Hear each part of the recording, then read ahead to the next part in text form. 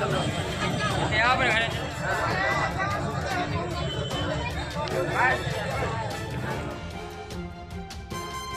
मध्य प्रदेश के सागर में एक तरफ़ प्रदेश के मुखिया डॉक्टर मोहन यादव का रीजनल इंडस्ट्री कॉन्क्लेव कार्यक्रम चल रहा है तो वहीं दूसरी ओर सागर के बुंदेलखंड मेडिकल कॉलेज के बाहर, एक महिला की मौत के बाद जमकर हंगामा मचा हुआ है और गुस्साए परिजनों ने बीएमसी गेट के बाहर चक्का जाम कर दिया है। परिजनों का आरोप है कि बीती शाम महिला की मौत हो गई थी, लेकिन सीएम के कार्यक्रम के चलते उन्हें महिला का शव नहीं दिया गया और आज चोरी छुपे महिला के सब का पोस्टमार्टम करा दिया गया। उधर इस पूरे मामले में बीती शाम बीएमसी के आला अधिकारियों ने महिला के जीवित होने और उसके वेंटिलेटर सपोर्ट पर होने की बात कही थी। लेकिन आज सुबह चोरी छुपे उसके सब का पोस्टमार्टम करा दिया गया, जिसके बाद गुस्साए परिजन अब सड़क पर उतर आए हैं। फ़र्स्ट किराए शोरूम न्यू बॉर्न बेबी के लिए ज़रूरत की सारी चीज़ें अब एक ही छत के नीचे उपलब्ध। B I S approved product newborn baby की शॉपिंग पर पाएँ 10 प्रतिशत अतिरिक्त ऑफ़र पता H D F C bank के बाजू में जबलपुर रोड, मकरौनिया। दरअसल यह पूरा मामला सागर के बुंदेलखंड मेडिकल कॉलेज से जुड़ा है, जहाँ एक बार फिर बुंदेलखंड मेडिकल कॉलेज की बड़ी लापरवाही सामने आई है। और इस दफ़ा बुंदेलखंड मेडिकल कॉलेज के डॉक्टरों ने एक महिला की मौत के बाद उसे वेंटिलेटर सपोर्ट पर रख दिया और आला अधिकारी परिजनों को यह दिलासा देते रहे कि वह महिला जीवित है, लेकिन आज सुबह अचानक महिला के शव को पोस्टमार्टम के लिए भेज दिया गया, जिसके बाद मृतक महिला के परिजन उग्र उग्र हो गए और उन्होंने बीएमसी गेट के बाहर जमकर हंगामा कर दिया और चक्का जाम करते हुए संबंधित डॉक्टरों पर कार्रवाई की मांग की। चक्का जाम अभी भी जारी है और प्रशासनिक अधिकारी मृतक महिला के परिजनों को समझाइश देने का प्रयास कर रहे हैं लेकिन परिजन चक्का जाम पर अड़े बैठे हैं। क्या मांगों को लेकर आज आप लोगों ने चक्का जाम किया है? इनने हमारी भाभी लिए गलत इंजेक्शन लगाए पाँच इंजेक्शन। पाँच इंजेक्शन के बाद उनकी तबीयत खराब हो गई। एक घंटे के अंदर वो मृत घोष कर दिया। उन्हें सात बजे हम लोग से बोला कि आपकी भाभी खत्म हो गई मतलब इनको लेके चली जाओ घर। हाँ। उसके बाद हम लोगों ने उस पर विवाद किया कि भैया आपने इंजेक्शन लगाए उस कारण से मरेंगे ठीक है ना? तो उन्होंने पुलिस के चक्कर में और जो सी एम आर उनके चक्कर में इन्होंने क्या किया? उस उनके लिए वेंटिलेटर पे रख दिया। अच्छा। हाँ उन शीला जैन जिसने इंजेक्शन लगाया है ठीक हाँ, है हाँ। और वो तक इस अभी तक सामने नहीं आई हैं। ठीक है इसके बाद हम लोगों ने अब ठीक है उनके कहने पे हम लोग बैठे और आज आज इन लोगों ने चुपचाप से चुपचाप किसी को नहीं बताया जाके पोस्टमार्टम में पहुँच गए। किसकी परमिशन से पहुँचे हैं ये बताओ आप? हाँ यहाँ पे बीस आदमी बैठे हैं घर की फैमिली के किसी को नहीं देख रहे हैं। हाँ अब ठीक है ये मर रहे हैं एक एक करके सब मरेगा।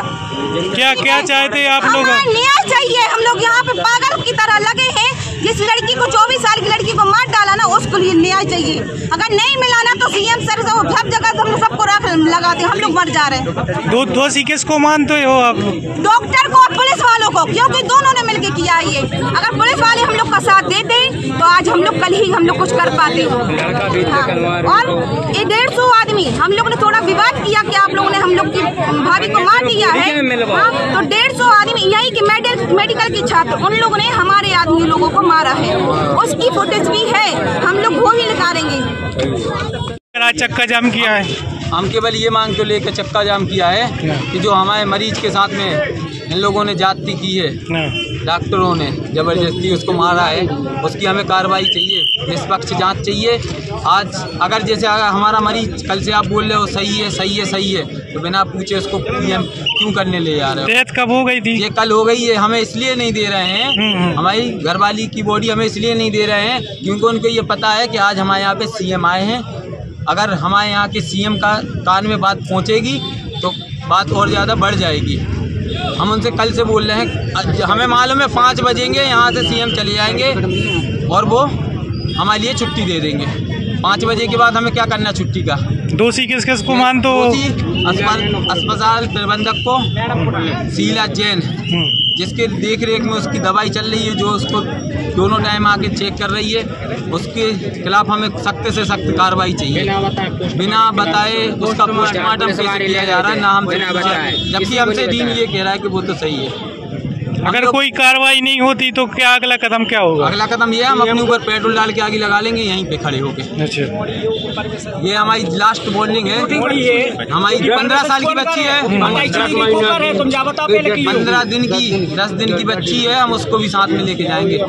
हम उसको अपने दो हम दोनों मिट्टी का तेल डाल लेंगे और आगे लगा लेंगे अपने उसका उसके जिम्मेदार उसके जिम्मेदार ये पुलिस वाले ये पुलिस वाले जिन इन लड़कों का बचाव कर रहे जो 120 लड़कों ने रात में हमें मारा पुलिस वालों के होते हुए टीआई साहब हो टीआई साहब के होते हुए जो वो मार दिया मार के जब जाने लगे तो बंदूक निकाल के बताने लगे कि अब ये भगा दे हैं रिकॉर्डिंग है जो वीडियो रिकॉर्डिंग अस्पताल उसको की सेव कर ली जाए। बता दें कि बीते दिनों मकरौनिया रजाखेड़ी निवासी सुमन पटेल, पति अमित पटेल को प्रसव के लिए बुंदेलखंड मेडिकल कॉलेज में भर्ती किया गया था, जहाँ बीते दिन महिला ने एक बच्ची को जन्म दिया और बीती शाम महिला को ड्यूटी पर तैनात डॉक्टरों ने कुछ इंजेक्शन लगाए, जिसके बाद उसकी तबीयत बिगड़ी और मौत हो गई। परिजनों के हंगामे के बाद मौके पर पहुँचे आला अधिकारियों ने महिला के जीवित होने की बात कही और उसे वेंटिलेटर सपोर्ट पर रखा गया। परिजनों का आरोप था कि प्रदेश के मुख्यमंत्री डॉक्टर मोहन यादव के कार्यक्रम के चलते महिला के सबको नहीं दिया गया है और उसके जीवित होने की बात कही जा रही है। लेकिन आज सुबह अचानक वेंटिलेटर से हटाकर महिला के सबको पोस्टमार्टम के लिए भेज दिया गया और परिजनों को कानो कान खबर नहीं लगी। लेकिन जब परिजनों को इसकी खबर लगी तो फिर बवाल मच गया और गुस्साए परिजनों ने बुंदेलखंड मेडिकल कॉलेज गेट के बाहर चक्का जाम कर दिया, जो अभी भी जारी है और प्रशासनिक अधिकारी पीड़ित परिजनों को समझाइश देने का प्रयास कर रहे हैं। बहरहाल एक बार फिर सागर के बुंदेलखंड मेडिकल कॉलेज की बड़ी लापरवाही सामने आई है, जिसमें एक महिला को अपनी जान से हाथ धोना पड़ा है। सागर से राहुल सिंह ठाकुर के साथ bureau report, Sagar express news first किराए शोरूम न्यू बॉर्न बेबी के लिए ज़रूरत की सारी चीज़ें अब एक ही छत के नीचे उपलब्ध। B I S approved product newborn baby की शॉपिंग पर पाए 10 प्रतिशत अतिरिक्त ऑफ़र पता H D F C bank के बाजू में जबलपुर रोड, मकरौनिया।